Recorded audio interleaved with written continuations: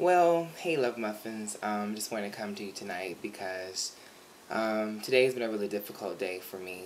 Um, and the reason why it's been so difficult is that um, I can't believe I'm sharing this, but um, my sister, I had a sister that passed away, and it's been now almost um, 13 years. And for me, it's very hard because my grieving for her has never really stopped. Um, there's not a week um, or a day that um, I don't think about her.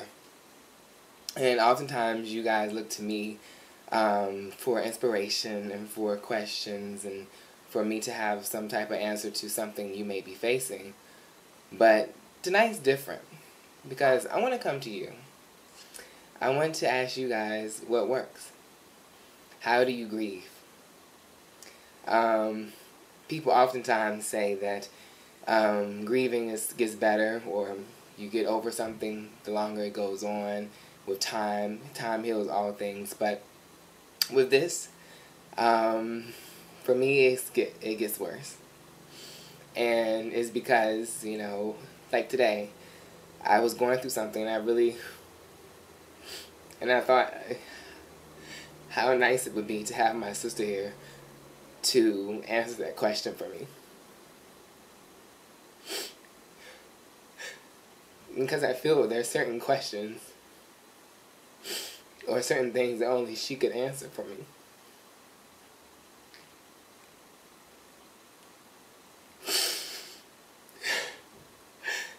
And it just breaks my heart to know that she would never,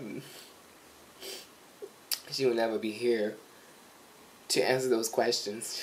She would never be here to see me achieve my goals. And honestly, she was the only one.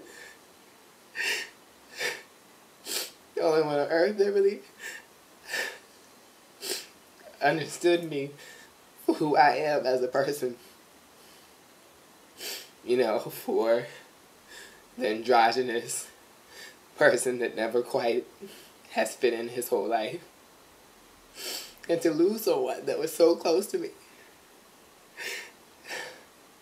I just get so sad because I don't think it would ever get better. I'm never better. I, I don't know if I will ever stop grieving for my sister. I don't know. So how do you how do you grieve? How do you make grieving better? How do you cope when you lose someone? And I'm a very strong person. I know I am. But this is something I just can't. I can't. I can't make it better. It does not get better.